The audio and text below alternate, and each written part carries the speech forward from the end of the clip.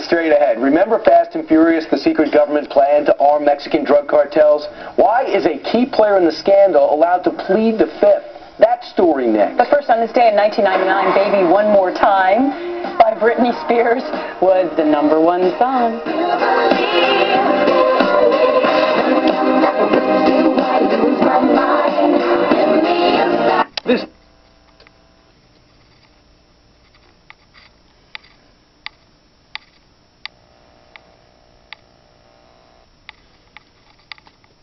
Played along. Was Ken from Kentucky? We're going to send him something real nice. Congratulations to everybody who played along. Meanwhile, the secret federal government plan to arm Mexican drug cartels backfired, of course, when a border agent was shot and killed. Well, now, federal prosecutor Patrick Cunningham, who was subpoenaed on the Fast and Furious case, is going to plead the fifth chairman of the House Oversight and Government Reform Committee, Representative Darrell Issa of the great state of California, joins us now from Washington. Good morning to you. Well, good morning, Steve, and, and, thanks for covering it just the way it is. This very rare occasion in which a current employed federal official, high-ranking official, is taking the fifth uh, in an investigation that Eric Holder says has nothing there. There's been nothing done wrong people do not take the fifth when they're working for the federal government and resign and get a lawyer if, in fact, they have nothing to hide. And this is somebody who had a direct conduit to the top levels of justice, both Eric Holder and Lanny Breuer. Well, this does smell funny. I mean, it'd be one thing if the guy, you know, was an outside vendor or somebody who was just driving by at the time of it, but this guy is in the federal government, and we understand from the letter that uh, you received from his attorney you know, if asked about anything, he's going to plead the fifth. That is remarkable.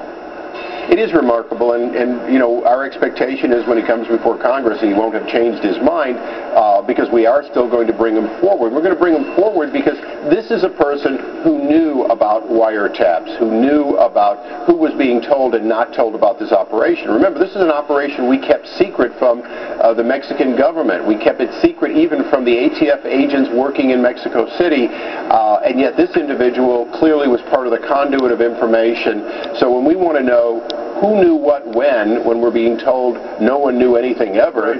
We, this is critical, and not having his honest testimony, I want him to protect himself against self-incrimination, but clearly he's going further than that. He's part of a broad cover-up uh, where we're going to be asking people above him and below him more questions. Well, I think I read somewhere one of his uh, one of his attorneys said, "Look, uh, my guy didn't do anything wrong. He's just being made the fall guy by the Department of Justice."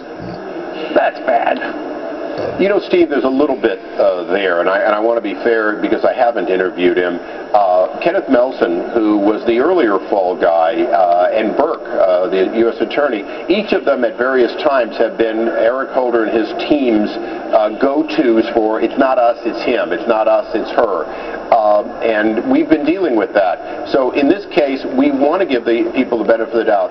Uh, Kenneth Melson, the head of the ATF, acting director, came in on the 4th of July last year and testified for a full day okay. without any interruptions by his counsel at his side.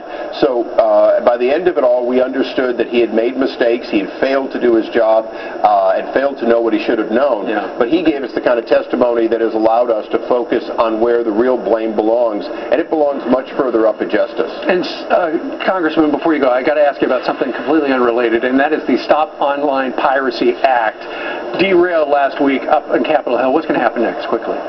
Well, it's a real it's a real step for liberty. We're going to find ways to protect intellectual property, co people's copyrights. We're going to do that, but we're going to do it without shutting down the web, without uh, infringing people's First Amendment rights, and without having the web become unstable and unreliable. And that's what SOPA and PIPA, these two bills, would have done. And once people started reading them, they realized they went way too far for what, in fact, is a foreign piracy problem that we intend to attack.